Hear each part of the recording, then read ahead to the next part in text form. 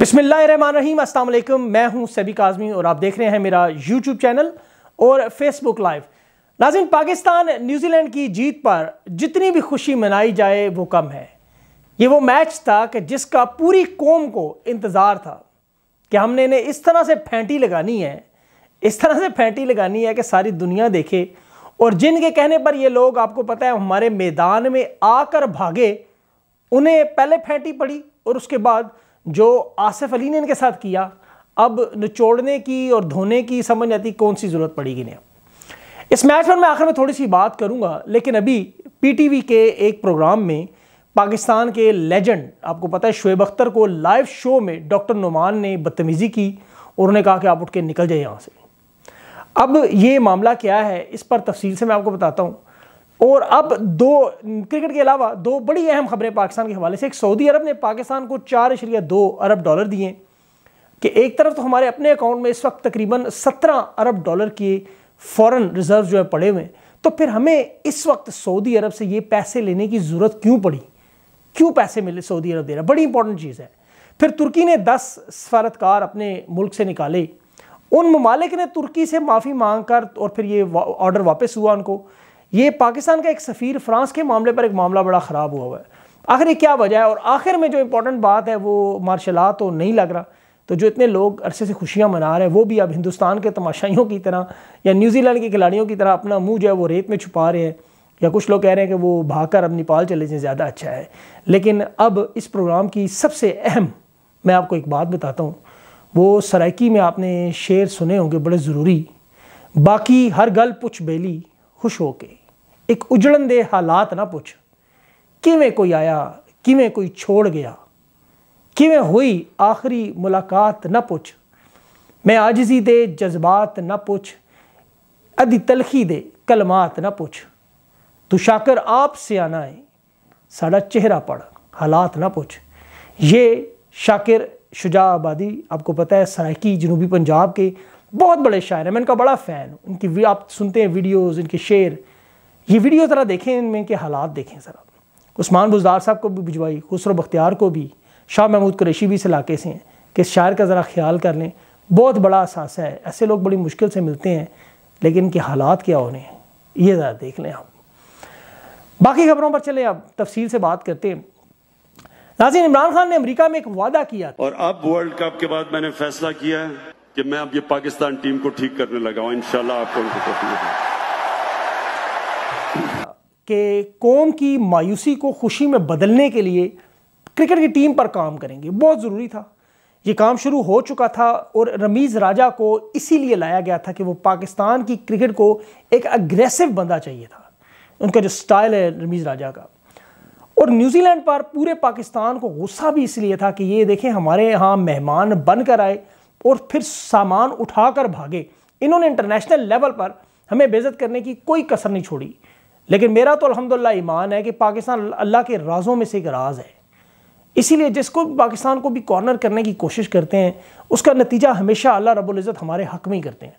England आखिरी रह गया अभी, उसके बारे में आपको पता है, वो बड़ा मशहूर किया गया था जी। फाइव आइज़ पाँच आँखें, बड़े मुल्क, लेकिन देख लें, आपके सामने सब कुछ हुआ है। रमीज़ राजा ने बिल्कुल सही किया, अपना गुस्सा दिखाया, पाकिस्तान का मौक़ बताया, खुल के बात की। पाकिस्तान के खिलाड़ियों की जब वजी अजम इमरान खान से आ जाने से पहले मुलाकात हुई तो उन्होंने चंद बातें की कि उनमें से एक सबसे बड़ी अहम बात जो प्राइम मिनिस्टर की तरफ़ से आई और जो मुझे पता चली है, उनकी टीम से, कि एक ज़ख्मी टाइगर हैं आप लोग। इतनी मेहनत करें कि रिज़ल्ट नज़र आए। आप किस्मत को और अल्लाह को नतीजा जो एक साइड पर रखें। अब उसका मैं आपको बताऊँ, देखें, फिटनेस से पता चल रहा है। माजी में कभी ऐसा नहीं हुआ। हमेशा पाकिस्तानी खिलाड़ियों के पेट लटक रहे होते हैं, दौड़ नहीं सकते। पहली दफ़ा आपको इंटरनेशनल प्लेयर से, खिलाड़ियों की जो फिटनेस है, उनसे ज़्यादा बेहतर पाकिस्तानियों की फिटनेस नज़र आ रही है। फास्ट बॉलर देखें कहाँ से गेंद उठा के दोबारा लाता है, अपनी बॉल पे खुद फील्डिंग करें ये दो दो दफ़ा देखें, जिन, मुझे क्रिकेट में दो दफ़ा मुँह पर गेंद लगी। यकीन करें, जब मुँह पर गेंद लगे तो उसके बाद आपके होशो आवास ही नहीं रहते। लेकिन जो आसिफ अली ने जो कल होश उड़ा दिए न्यूजीलैंड के, वो ये चीज़ साबित करती है कि खिलाड़ी मुकम्मल तौर पर पम्प्ड हैं, पुरजोश हैं, और इनकी मेंटोरिंग बड़ी ज़बरदस्त है। बाकी हार जीत खेल का हिस्सा है। अल्लाह की मर्ज़ी है, हमारा ईमान है। इंसान का काम है मेहनत करना, जो उन्होंने दिखा दिया और आपने देखा। अब मेरे लिए तो ज़ाती तौर पर टूर्नामेंट आपको पता है न्यूजीलैंड इंडिया के बाद ख़त्म हो गए। मैं तो वहीं से अलहमदिल्ला पाकिस्तान की जीत के बाद बस पुरसकून हूँ। लेकिन वर्ल्ड कप ज़रूर चाहिए, हमें बहुत अच्छा चाहिए। ज़रूर मिलना चाहिए। अब ये बात मैं एक फवाद चौधरी साहब से इसी वर्ल्ड कप के क्रिकेट खिलाड़ियों से ही कि देखें पीटीवी के प्रोग्राम में जो सरकारी टीवी था यहाँ पर इन्होंने एक लेजेंड शुएब अख्तर को बुलाया, जिसे वो हिंदुस्तान में पाकिस्तान की नुमाइंदगी करते हैं, दिफा करते हैं। आपने सबने देखा उनको। बहुत बड़े खिलाड़ी थे नगार हैं, बहुत बड़ी फ़ैन बेस हैं। पाकिस्तान का फ़ख्र है, अच्छे जानने वाले भी हैं मेरे। जिस तरह उन्होंने शो में ये कहा कि जी आप उठकर चले जाएँ, वो डॉक्टर नोमान कह रहे हैं, उस पर बात क्या थी? बात सिर्फ़ इतनी थी कि शुएब अख्तर ने कहा कि लाहौर कलंदर के खिलाड़ियों का जो तरबियती कैंप प्रोग्राम है, हारिस रऊफ वहाँ से निकला। होस्ट कह रहा था जी अंडर नाइनटीन से।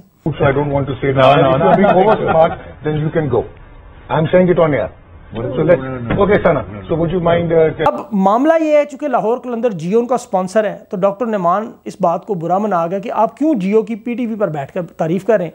अब जियो और लाहौर कलंदर को खरीद तो नहीं चुका उनका एक स्पॉन्सर है सिर्फ़। ये बात मान भी लेते हैं कि अक्सर बेशतर जियो तनकीदी काम करता है गैर तमीरी काम करता है लेकिन पाकिस्तान के खिलाड़ियों की बात हो रही है। हारिस रऊफ़ की बात हो रही है, वो कोई जियो की नुमाइंदगी नहीं करता, वो पाकिस्तान की नुमाइंदगी करता है। और शुएब अख्तर बहुत बड़ा स्टार है। आप उसे कह रहे हैं, मेरे शो से उठ के निकल जाओ।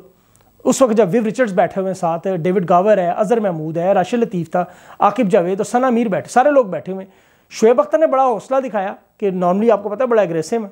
गुस्सा नहीं किया, कोई ड्रामा बनाने की नहीं ज़रूरत पेश आई और बड़े इतमान से खामोश है। अब देखें डॉक्टर नुमान को इस तरह नहीं करना चाहिए था। पीटीवी को अब या तो डॉक्टर नुमान को फारिग करना पड़ेगा, या फिर शुएब अख्तर के सामने पूरे पाकिस्तान के सामने पीटीवी पर बैठकर माफ़ी मांगनी पड़ेगी। शुएब के साथ पूरी दुनिया इस वक्त मौजूद है।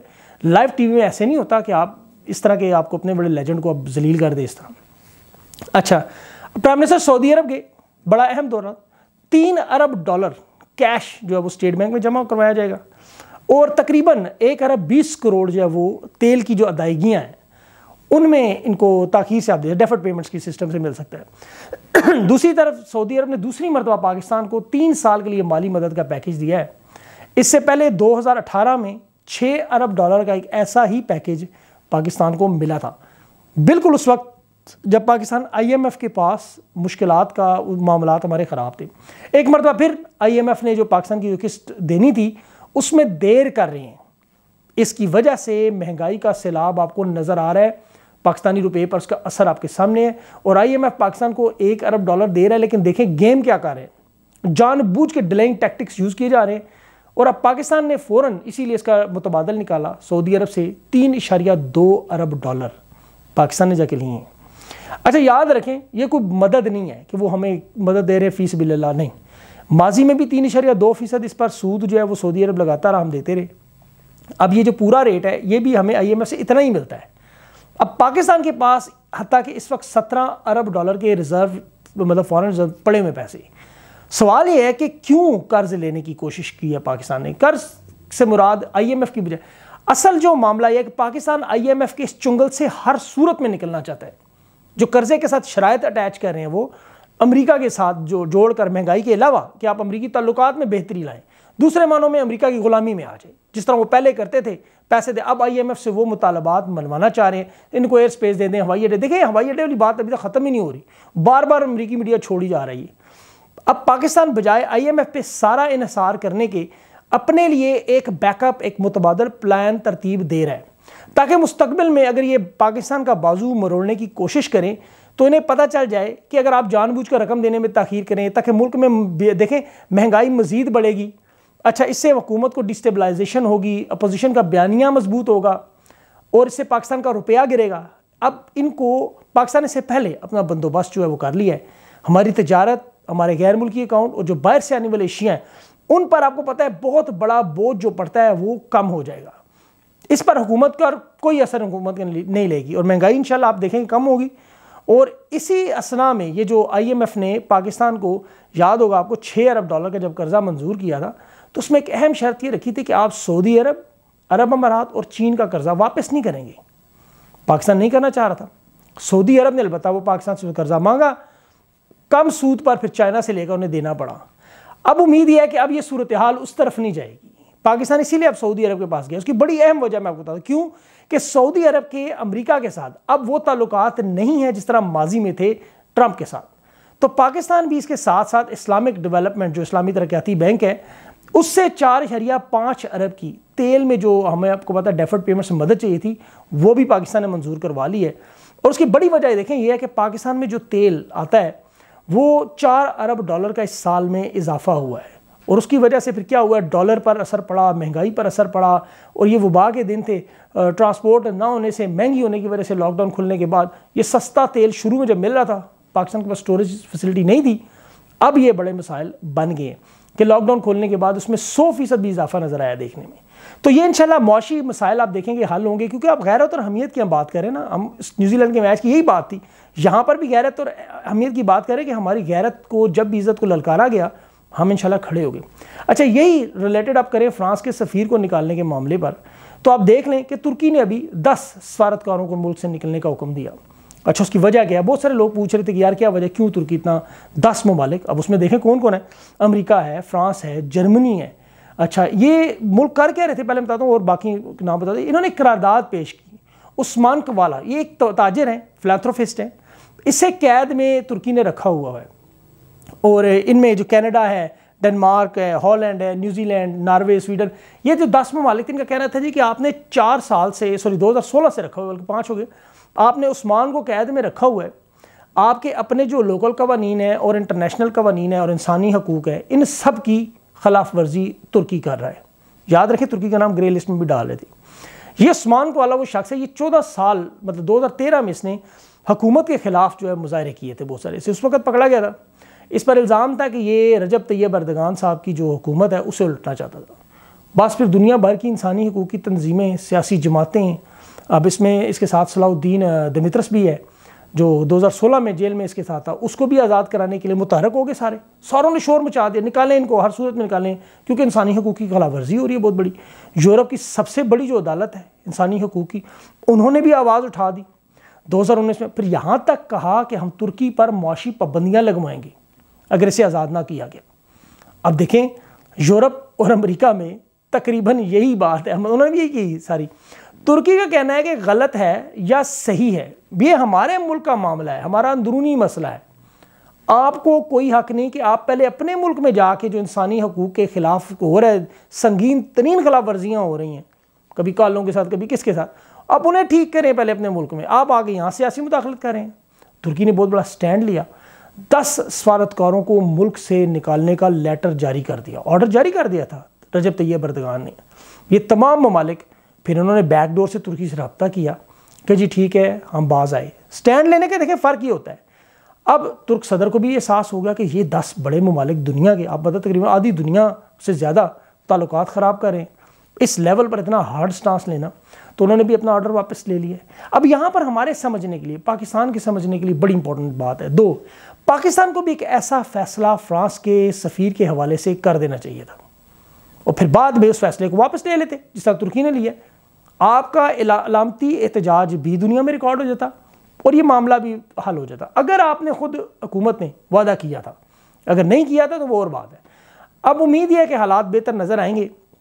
शेख रशीद साहब ने अभी इस मसाइल बहुत सारे हल कर लिए हैं। हुकूमत अपने तरीके से चल रही है अपनी गेम। सूबाई हुकूमत कौमी फेडरल पे डालती है, फेडरल सूबाई पे डालती है। अब मुजाहरीन में कुछ ऐसे वाकई जैनवन लोग हैं जो लब्बैक के नारे पर आए हुए हैं, उन्हें इस चीज़ से कोई गर्ज नहीं।